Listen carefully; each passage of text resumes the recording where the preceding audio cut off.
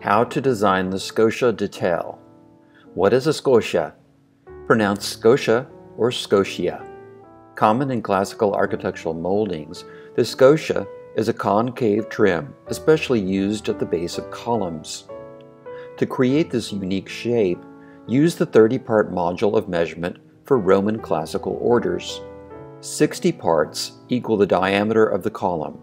One part in this video is 1 inch, but you may use 1 centimeter, 1 millimeter, or even 1 foot parts to achieve the same result. The magic of classical architecture is that the proportions remain constant no matter what scale you employ, whether in metric or imperial dimensioning. The key to this detail is in its Greek origin, where skotos means darkness. A scotia is a deep and compound curve that produces a dark shadow as light washes over and past its recesses. It emphasizes detail by this visual cue. Take a look at the following three images of the ionic column base that contains two scotias. The first image is without directional light.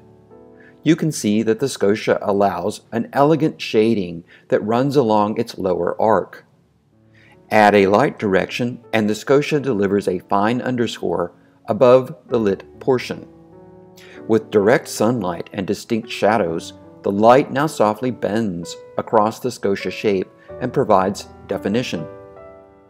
The following method to draw the scotia detail is taken from W. W. Turner's 1930 book, Fundamentals of Architectural Design.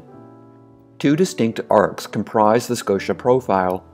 There is a larger arc below, tangent to a tighter arc above it. You start with a set of four guidelines. 1. The lower line.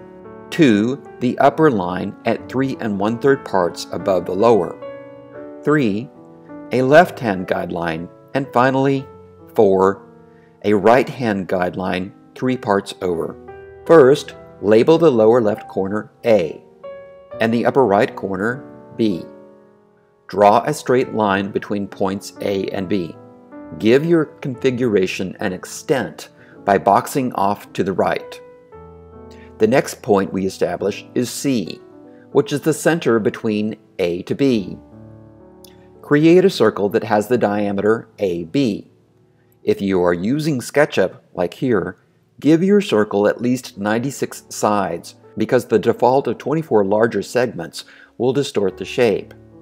If you use physical tools, it's a precise scribe. Pay close attention because here it gets tricky.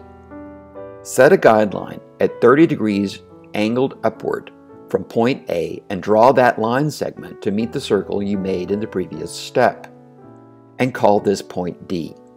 Now, we want an equilateral triangle using the AD segment. First, draw a vertical line up from point A. While there's more than one way to make the final triangle segment, here we will scribe another circle of 96 sides, with D as its center point. Where that circle meets the vertical line coming up from point A delivers the last part of the equilateral triangle, and we mark it as point E.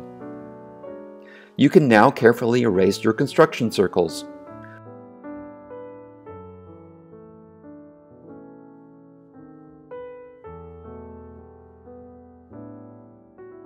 From point E, create a new circle with 96 sides in SketchUp where its reach passes between point A and D.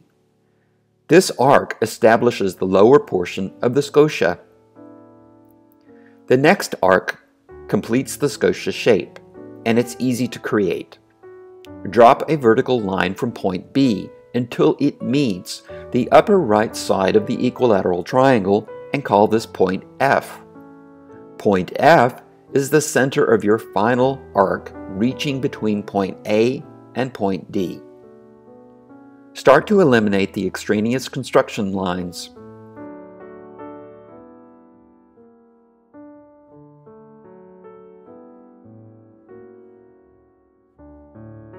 The scotia shape is complete. Creating the final intersection of the two arcs in SketchUp is not precise, because there is no true curved shape in the software. Circles and arcs are segments. Taking a closer look at the final joint where the arcs meet reveals two very close segments of the arcs we created. By visual appearance, we determine that the inner arc of the overlap, not the outer, is best for the overall appearance of this detail. Though tiny, there is a perceptible difference between the two.